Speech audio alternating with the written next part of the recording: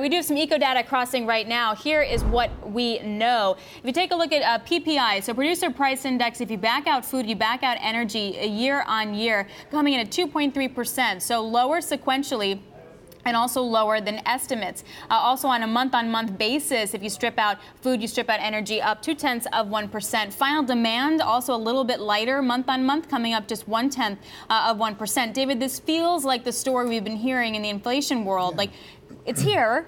Yeah, it's it's it's not dramatic, it? but it's, it's, here a little bit. backing off just a little bit. Certainly it doesn't look like it puts a lot of pressure on the Fed. It's not saying there's no alarm bell going off here. They've got inflation coming down the pike. Right, and I wonder what this also winds up meaning for CPI, because if uh, PPI comes yep. in uh, tomorrow, sequentially right? lower, then you don't necessarily have that pressure to pass it on uh, on the consumer level as well, which there is yeah. debate of whether or not the consumers could handle that level.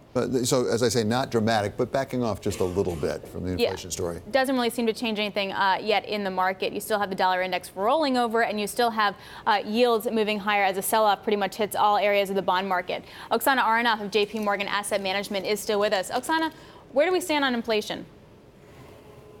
Here's the issue with inflation, and you've just sort of illuminated it with your comments, which is that it's been almost entirely priced out as a risk, which makes it a risk by sheer, you know, by, by that very um, sort of uh, way of thinking. And look, these numbers show us that inflation generally uh, will continue to move along the same trajectory, meaning, you know, constructive trajectory. And the danger is that any reading in the future that we get that may slightly exceed expectations, you know, by the same tiny margin that perhaps it fell below this morning, will spur those expectations. And the Fed so far, you know, may not feel pressured by these numbers, but the Fed will continue to do what they're doing, and they're telegraphing three more hikes this year, and the markets are not priced. Okay,